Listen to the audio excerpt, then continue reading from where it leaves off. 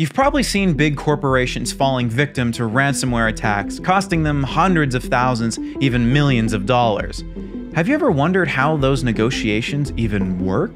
My name is Caden, and today we're diving into the process of ransomware negotiations.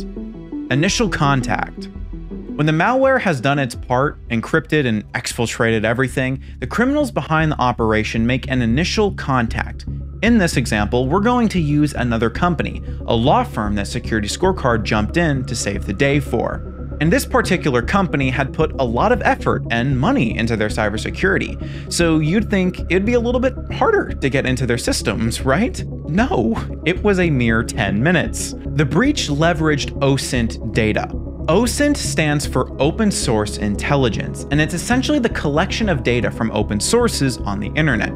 Websites, website owners, the infrastructure they are running on, exposed sensitive data, usernames for accounts, etc. Attackers will generally leverage this data that's intended to aid investigations, law enforcement, and proactive security assessments as a means to identify vulnerabilities and potential starting points. These rapid breaches typically happen through social engineering tactics, targeting specific departments or employees, pinpointing weaknesses in software, and exploiting unpatched security vulnerabilities. Now, panic sets in for this law firm as all the operations grind to a sudden halt.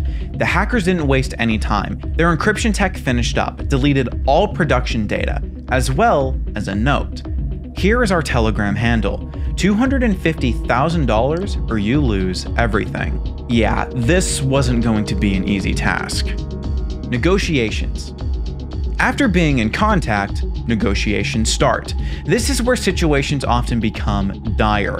It's not uncommon for hackers to put a very short and strict time limit. In our story, for example, the hackers told the firm that they had 24 hours to make the payment at the point of contact, or the ransom would only keep climbing and data would get leaked out. To get into the mindset of these hackers, you need to think of them as business people right now doing collections. Their main objective is to extract as much money as possible from these companies that they've breached. That's it. With the clock ticking, our law firm found itself stuck between a rock and a hard place. Thankfully, they had experience with Bitcoin wallets and had it ready. While a bit on the later side, they decided to reach out to our incident response folks for guidance. They felt confident in themselves, but essentially wanted some pointers and advice on how to handle this.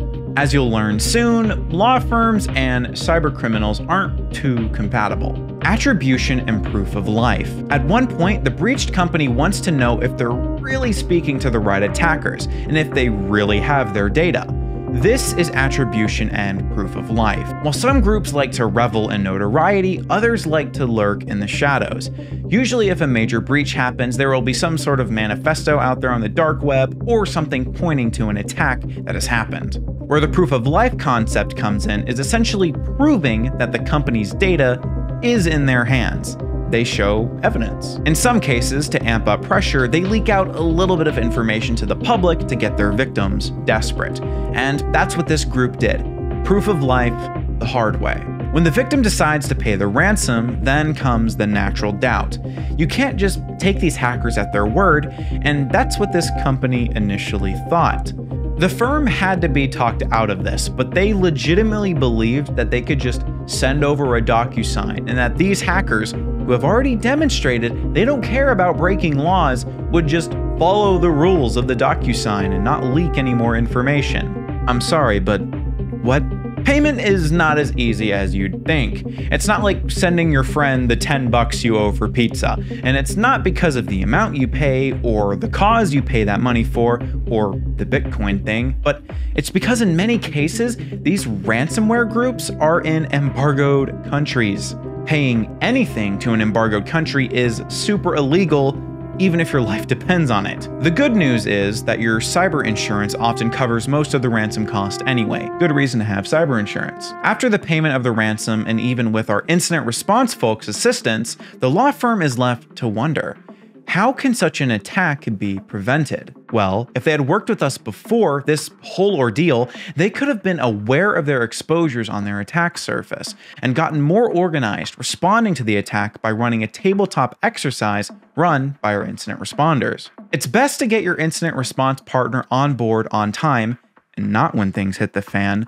Know your attack surface and get your company prepared for such an attack with professionals who respond to attacks like this daily. As for this company, the ransom was paid and the attackers kept their word. Now, everything's off in a better place. My name is Caden, and thanks for watching.